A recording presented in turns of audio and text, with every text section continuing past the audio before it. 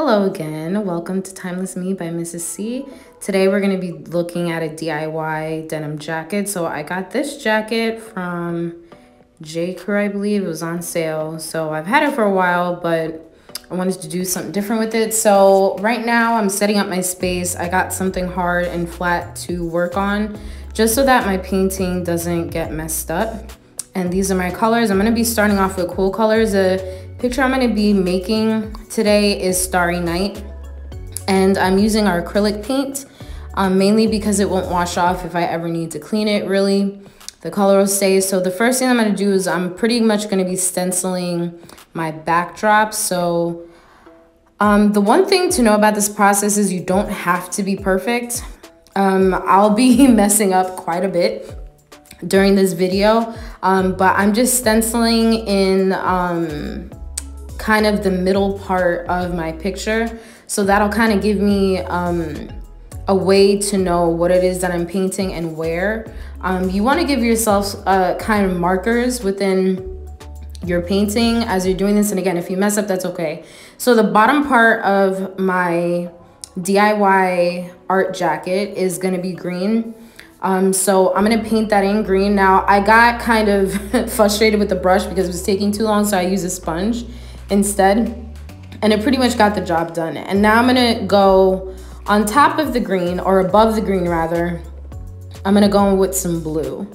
And so I'm to do that whole entire area between the green and the white line in blue. And then next, I'm gonna be painting in the next area, which is white. The good thing about our acrylic paint is that um, you do have to sometimes give it time to dry. It doesn't take that long to dry, depending on how thin the layer is, um, but you can layer on colors on top of it. So this is really just the first layer of paint in my painting. So that's the white part. And the next thing that I'm gonna do is on the top part, I'm gonna put in my blue. And again, I'm gonna be using the sponge. So now my um, backdrop of my painting is in. And again, you don't have to do the, this is just a picture of the painting. You don't have to do the exact same thing that you see in the painting. Again, this is yours, so do whatever it is that you wanna do and you could make it your own. So one of the other things I'm gonna start doing now is start putting in the stars. This part is the moon. And so I'm just gonna be drawing in or painting in rather um, the circles where the moon and the stars are gonna be. And then um, the other thing that I'm also doing just to help me with placement is um, this like large black bushy tower that you see here. Um, I'm gonna be putting in like where exactly I'm gonna put it. So I'm just gonna put a black dot to mark that on the top of how far up I want it to go. And then the base of it of how wide I want it to be. Because it does start narrow at the top and then it gets wider at the bottom. So I just wanted to put that in. I was starting to draw it and then I was like, oh no, I have other stuff that I need to draw behind it. So that's why you see that black line there. Um, but essentially what I'm doing now is I'm gonna start adding in some of that white detail, that white swirl, and also um, just putting and mixing in some colors. So the colors again that I'm mixing in, I'm using some white and a little bit of the blue. Um, the paint underneath the white kind of didn't dry, but it was okay. It was actually really good um, because it kind of gave me the texture that I wanted. And now what I'm doing is I'm putting in the circles. I'm kind of twisting in um, my brush or whatever technique that you want to use. Again, I'm not an artist, so whatever technique you want to use to put in the um, stars is okay with me. Um, the next thing that I'm gonna do is um, a part of the backdrop is kind of hilly. And so I'm kind of gonna be drawing in the barrier of where the hills and the sky, that mountain type of area meet. And so that's what I pretty much did here. And what I did was I just blended in some of the colors and again, adding in some texture. Again, if you guys, if you mess up, do not worry. Um, nobody is gonna know that you messed up. So just keep going. The next thing that I did was I put in my tower. And so again, I just put in this swirl pattern. Um, I kind of did mess up with this because the green part on the left, it really shouldn't have been there. It should have really been blue, but that was again okay. Um, I just kept going. Um, the next thing I'm gonna do is I'm gonna put in the stars. And again, I'm just blending everything in. So now I'm going to my warm colors and I have a mixture of reds, um, yellow, yellows and green. I'm going to be mixing in these two uh, yellow colors. One is kind of a mustard yellow and one is kind of a sunshine yellow. I wanted something in between that, so I just mixed them both together with a little tiny bit of red. And so that's what I'm going to be using as the center part of my stars. So again, I'm just going to be as careful as I can be so that it doesn't get anywhere. And if you do ever mess up and the paint gets anywhere else, if you get some cold water really quickly before it dries and um, get it out, it'll normally just all come out. So it shouldn't be that bad. So um, working with acrylic paint can be um, a bit of a challenge because it does dry so quickly. But if you know how to use it, um, it can come out really great.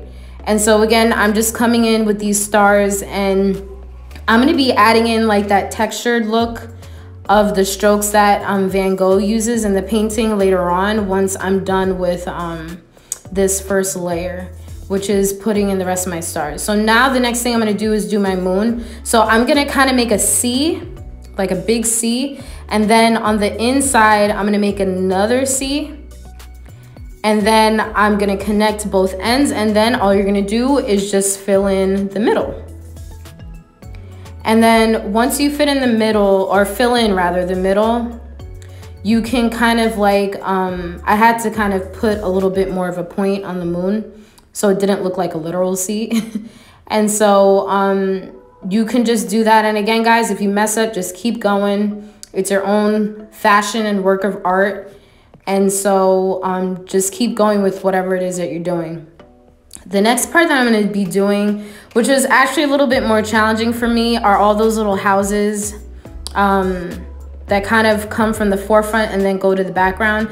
And I'm starting with that large um, steeple of that church. I'm guessing it's a church in the back. So again, it's just kind of giving me some uh, room for the spacing of how I want to do everything. So I just put in those little houses. I use different colors. Again, it doesn't look exactly like the painting, but if you were to see it, you would say, oh, that's Starry Night. So you want at least people to be able to recognize the painting, whatever picture you choose.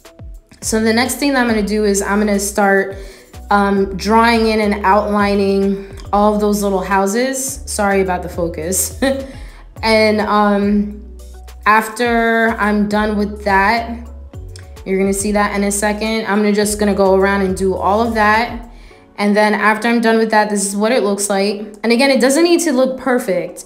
You want it to look kind of um, vintagey and rustic. At least that's the look that I'm going for. I didn't want it to look too, too clean.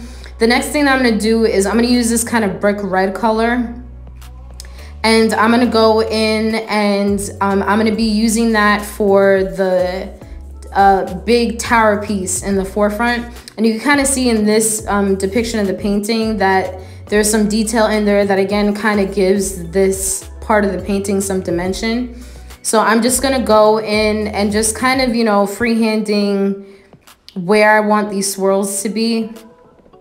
And don't be afraid to play with around with the color and mix colors in. Um, this paint that I got was really good. I'm glad I got so many colors. So I was able to mix in a lot of stuff. So you can see now I'm almost finished with my painting. I'm gonna be adding in some more details, some bushes, some lines, some texture into this. And right now it's looking really good. So you could see here that I'm starting to go in. I'm starting in the um, upper right hand corner of my painting on my jacket. And I'm just putting in that like those line strokes that um, Van Gogh has in his painting. And so all that dark blue part, that was my first layer, is gonna be on the bottom and then lighter color is gonna be on top. And the next thing that I'm doing, um, I'm gonna be doing a border of white and you can kind of see the other details that I put in the other part of the painting. And this again is the final product.